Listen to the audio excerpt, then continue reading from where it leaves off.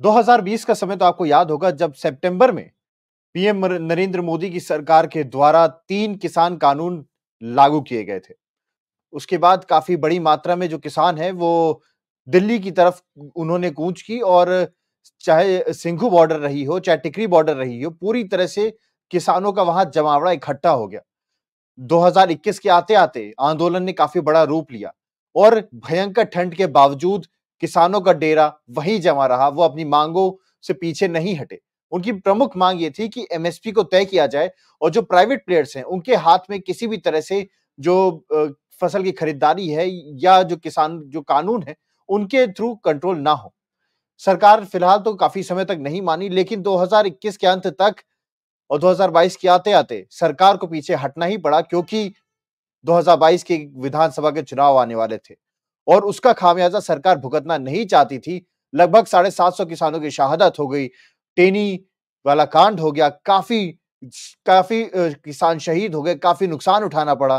कई राजनेताओं ने भी समर्थन कर दिया विपक्ष के और इस आंदोलन को कई रूप दिए गए, कई नाम दिए गए, लेकिन तब भी इसे बदनाम नहीं कर पाई सरकार और अंत में ये आंदोलन अपनी मांगों पर कुछ हद तक मांगे पूरी करार ले गया और वो थी कि तीन किसान कानून सरकार को वापस लेने पड़ गए। अब स्थिति फिर से ऐसी ही बनी है।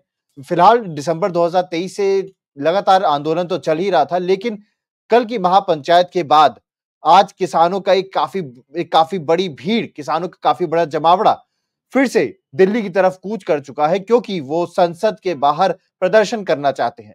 अब की बार मांग एमएसपी को लेकर तो है ही है, लेकिन अब की बार नई मांग है। वो मांग है कि जो सरकार ने किसानों की ज़मीन अधिग्रहित की थी नोएडा के एरिया के आसपास डेवलपमेंट पर्पज के लिए।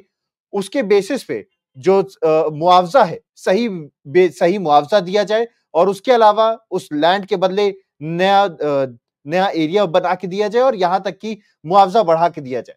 इन्हीं सब मांगों के साथ किसान फिर से दोबारा से दिल्ली की तरफ़ कूच कर चुका है। आज इन्हीं सब मुद्दों पर हम चर्चा करें कि 2024 के जो लोकसभा चुनाव हैं जब 2022 के विधानसभा चुनाव थे, तब सरकार को घुटना टेक, घुटने टेकने पर मजबूर हो गई। तो 2024 में तो साफ़ तौर पे पीएम मोदी की कुर्सी पर ही खतरा हो जाएगा। और अभी तो ये मांगे सिर्फ़ मुआवजे को लेकर हैं और किसानों की सुरक्षा को लेकर है।